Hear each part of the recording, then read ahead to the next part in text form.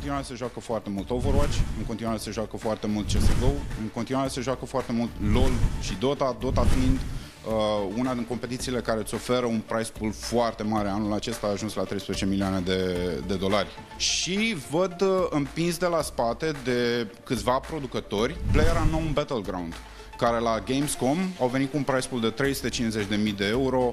E o nebunie. Foarte mulți youtuberi joacă jocul ăsta și prinde, prinde la public bine de tot. În traducere, premiile pentru aceste jocuri sunt mari, foarte mari, iar în jurul lor s-a dezvoltat o adevărată industrie. Asta pentru că un gamer împătimit sau profesionist își dorește mereu cele mai noi tehnologii de pe piață.